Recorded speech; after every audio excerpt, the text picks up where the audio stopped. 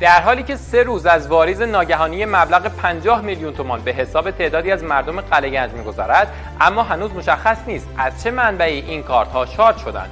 کمیته امداد این واریز را رد فرماندار قلهگنج اظهار بی اطلاعی و بانک مرکزی حسابها را بلوکه کرده است. ششم تیر ماه بود که یک پیامک عجیب که خبر از یک واریز ناگهانی را می‌داد زندگی بسیاری از مددجویان کمیته امداد قلهگنج را دگرگون کرد. مردمانی که این واریز میلیونی می توانست همه زندگی آنها را تغییر دهد. شاید این پنجاه میلیون از نگاه بعضی ها رقمی نبود که کسی را آنچنان به هیجان بیاورد. اما برای مردمانی که چشمشان به یارانه های ماهیانه و کمک هزینه های گاه و بیگاه دولت است تا چرخ زندگیشان هرچند به سختی کمی بچرخد بسیار پر اهمیت بود.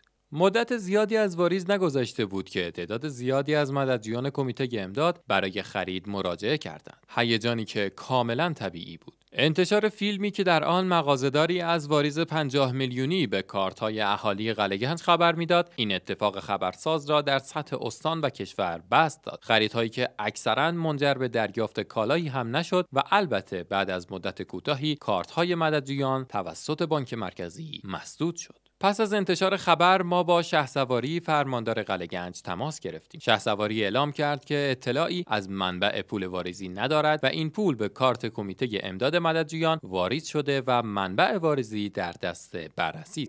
چهارشنبه هفته گذشته مبلغی به حساب تعدادی از مددجویان کمیته امداد شهرستان واریز شد در یک بازی زمانی کوتاه مدت و تعدادی هم این پول رو برداشت کردند موضوع در دست بررسی هست. یعنی از روز چهارشنبه بلافاصله حساب محصول شد. بعد از یکی دو ساعت و موضوع در دست بررسی هست. تا این لحظه با اطمینان نمیشه گفت که مبدع و منشه این واریزی چی بوده و از کجا بوده.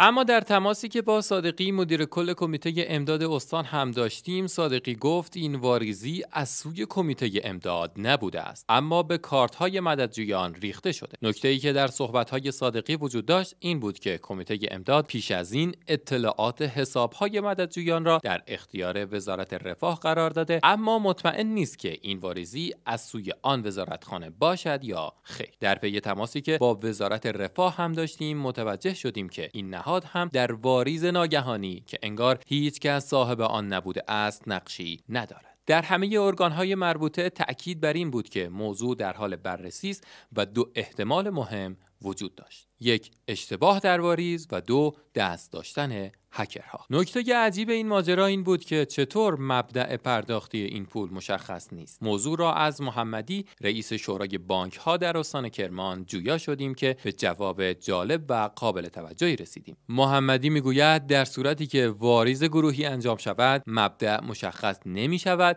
و احتمالا این واریز به همین شکل بوده است. گفتنی است که بنا به شنیده های خبرنگار کرمان نو به حساب برخی دیگر از اهالی قلهگنج هم این پول. ریخته شده بود. روزها از این ماجرا گذشته و پیگیری های ما هم چیزی از ابهاممان کم نکرد. تا اینکه در آخرین تماسی که با شهسواری فرماندار قلهگنج داشتیم او از چیزی ابراز نگرانی کرد که قابل تحمل بود. اینکه کارت های مددجویان کمیته امداد که مسدود شده کارتی است که مددجویان دریافت های کمک معیشتی خود را نیز از آن داشتند و در این شرایط کنونی به این کارت هم دسترسی ندارند. در شرایط فعلی با توجه به وضعیت اقتصادی این موضوع اهمیت زیاد زیادی دارد. زیرا بسیاری از این مددجویان تنها از این طریق گذران زندگی می کردند و این واریز ناگهانی نه تنها برای آنها سودی نداشت بلکه بیشتر تحت فشار هم قرار گرفتند.